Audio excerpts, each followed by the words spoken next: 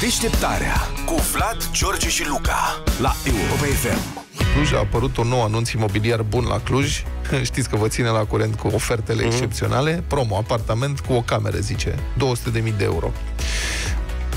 Cum adică, în prima, eu am foarte multe nelumuriri. Deci zice apartament cu o cameră în, în zona campusului studențesc HD. Și e semi-decomandat.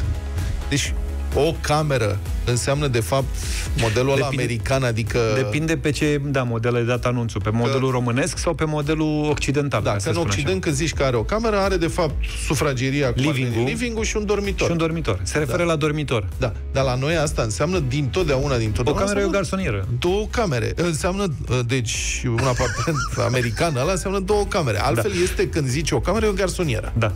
Și ca atare ne uităm la suprafață. Suprafața 38 de metri pătrați la 38 de metri pătrați, mie mi se pare deja apartament cu două camere. Pentru că altfel, pentru o garsonieră ar fi destul de mare. Da. Că e total depășit. O garsonieră uriașă. Da.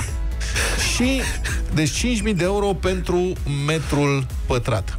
5.000 de euro pentru metru pătrat mi se pare un preț destul de mult. Foarte bun. Super lux. Paris 2 zice că este semi-decomandat.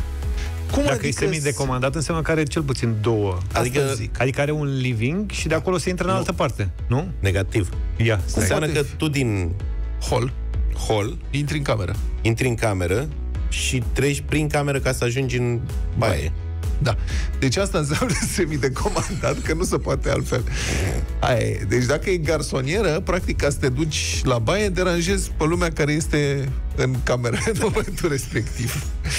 Dar vreau să vă mai zic că acest, această ofertă, deci apartamentul de o cameră sau cât are el, dispune de o centrală proprie, aer condiționat, interfon, iar obiectele sanitare Unde din baie pe toate astea? sunt de acum? calitate superioare. Și, atenție, asta îmi place, dispune, citez, de o nișă de dormit care este momentan folosită ca și birou. O nișă? Așa spune. Deci nișă de dormit. Deci o scopitură în perete. Folosită ca birou.